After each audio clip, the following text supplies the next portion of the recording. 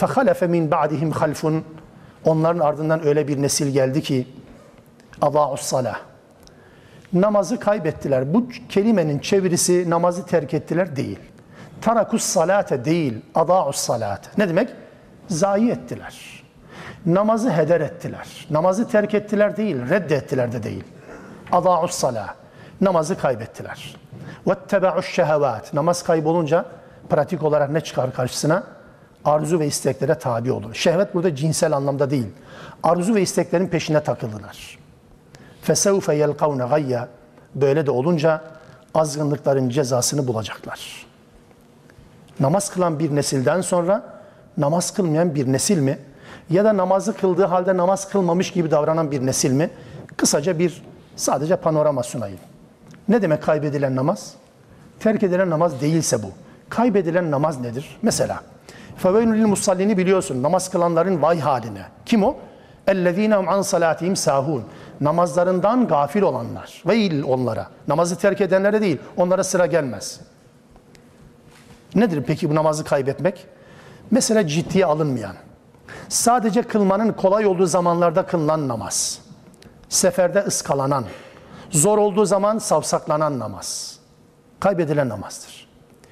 Yalana, gıybete, rüşvete, faize engel olmayan namaz, kaybedilen namazdır, terk edilen olmasa bile.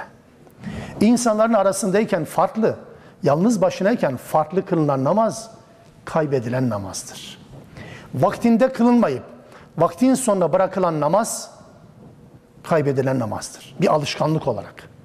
Tavuğun yen topladığı gibi acele kılınan rükû ve secdeleri tam yapılmayan namaz kaybedilen namazdır. Etkisi olmaz bunun. Hayata hiçbir etkisi olmayan, sadece hareketlerden ibaret olarak kılınan namaz kaybedilen namazdır. Başka şeylerle meşgul olmanın daha önemli görüldüğü namazdır kaybedilen namaz. Daha başka şeylerle meşgul olmak, uğraşmak, cazip gelmesi evet namaz kılmasına rağmen evet bu namaz kaybedilen bir namazdır. Böyle bir namaz terk edilirse değil, böyle bir namaz bu şekilde bir namaz kılınsa bile insanların vettebe'uş şehvetine mani olmaktır. Şehvetlerine, peşlerine takılmasına mani olmaz. Peşlerine tak, şehvetin peşine takılacaktır. Bu birbirinin birbirinin lazımı gayri müfarekıdır Araplar. Yani birbirinin vazgeçilmezidir. Namazı kaybettiniz mi arzu ve istekler sizi ele alır. Namaz varsa kafanıza göre takılamazsınız. Namaz kafanıza göre takılmazın, takılmanızın öndeki en büyük engeldir ve bunun garantisidir. وَاتَّبَعُ الشَّهَوَاتِ Şehvete tabi olurlar. Hasan Basri ve Ali radıyallahu anhumadan bir cümle söyleyeyim, birer cümle. Şehvete tabi olmak ne biliyor musunuz? İşleriyle meşgul olup mescidi terk etmektir diyor. Namazı terk etmek değil, cemaati terk etmek.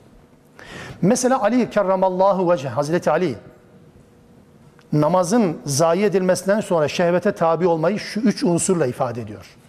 Görkemli olsun diye bina yapmak. Gösteriş olsun diye vasıtaya binmek. Şöhret için elbise giymek.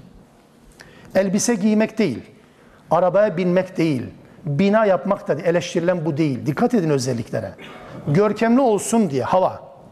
Hepsinde dikkat edin fiyaka var. Hepsinde hava civa var. Yani giymiş olduğu elbisenin markasına fazladan para veriyor. Niye? Marka görünsün diye. Şehvet bu. Namaz zayi edilince bakın kılınmayınca değil. Namaz zayi edilince bunların hepsi çıkar. İnsanlar ihtiyaç olduğu için ev yapmazlar. İnsanlar ihtiyaç olduğu için vasıtaya binmezler. Ve insanlar ihtiyaç olduğu için giyinmezler. Sadece ve sadece havasını atmak için. Bunlara sahip olurlar. Namaz zayi edilirse bunlar da kaçınılmaz hale gelecektir. Peki herkes mi tevbe etme, iman etme ve salih amel işleme bunun dışındadır. Allah Teala öyledir.